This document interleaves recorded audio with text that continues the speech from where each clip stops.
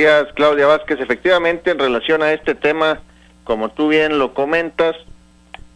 decirte que este unos momentos platicamos con el coordinador estatal de protección civil, Pedro Granados Ramírez, en referencia a este tornado que se registró el día de ayer por la tarde en el ejido Palos Blancos del municipio de San Fernando. Nos comentó que este fenómeno recorrió pues una zona, una amplia zona, dice, llegó a reportarse la presencia de este tornado, de este fenómeno, a una distancia de 30 kilómetros de Reynosa. Entonces, pues sí fue una eh, pues eh, porción considerable de terreno que recorrió este tornado, dice, eh, sin que se reportaran afectaciones, sin que se reportaran daños materiales, sin que se reportaran personas lesionadas. Vamos a escuchar al coordinador estatal de protección civil, Pedro Granados Ramírez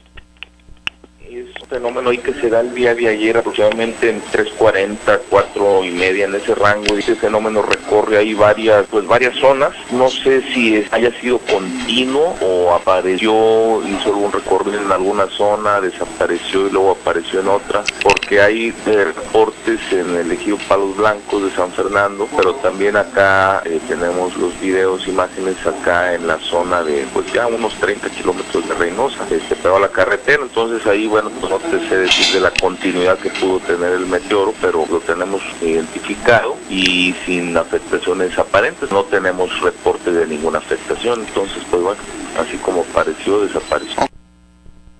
Comentarte, Claudia, y comentarle a tu amable audiencia esta hora de la mañana. Pedro Granados recordó que hace algunos 10 días se registró un fenómeno ahí que afectó varias viviendas también en el mismo municipio de San Fernando, aunque dijo pues no es no fue aquel propiamente un tornado, sería este, el registrado hace aproximadamente 10 días, el único antecedente que se tiene en fenómenos de este tipo, al menos aquí en la entidad. Manifestó desde luego que no hay eh, manera de prever este tipo de fenómenos,